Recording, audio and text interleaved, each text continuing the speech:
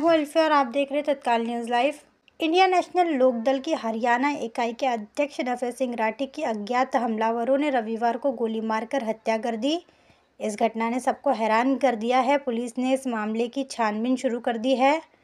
फ़िलहाल सीसीटीवी से पुलिस को एक संदिग्ध गाड़ी के बारे में जानकारी मिली है। पुलिस को शक है कि इस गाड़ी पर चारों शूटर सवार होकर आए थे। गाड़ी के नंबर को ट्रेस करके जानकारी जुटाने की कोशिश की जा रही है। फ़िलहाल इस मामले पर अभी तक कोई ठोस सुराग नहीं मिल पाया है। पुलिस अब उस आई ट्वेंटी कार की तलाश कर रही है, जिसका इस्तेमाल हथियारों द्वारा किए जाने का संदेह है। हरियाणा के जज्जर ज़िले के सीसीटीवी फुटेज में रेलवे क्रॉसिंग के पास पहुँचते ही कार एसयूवी का पीछा करती हुई दिखाई दे रही है।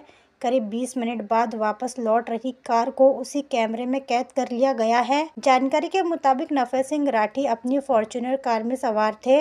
कार में वो आगे की सीट पर बैठे हुए थे। कार को नफे सिंह का भांजा चला रहा था। पीछे वाली सीट पर उनके पार्टी के कार्यकर्ता जय कृष्ण दलाल बैठे हुए साथ ही साथ एक नगर भी बैठा हुआ था। जानकारी के मुताबिक चार शूटरों ने गाड़ी में चारों तरफ़ से फायरिंग की। आधुनिक हथियारों से सबसे ज़्यादा गोलियाँ नफे सिंह की तरफ़ मारी गई। करीब 20 राउंड फायरिंग हुई। गाड़ी के कई शीशे टूटे हुए हैं और गोलियों के कई निशान हैं।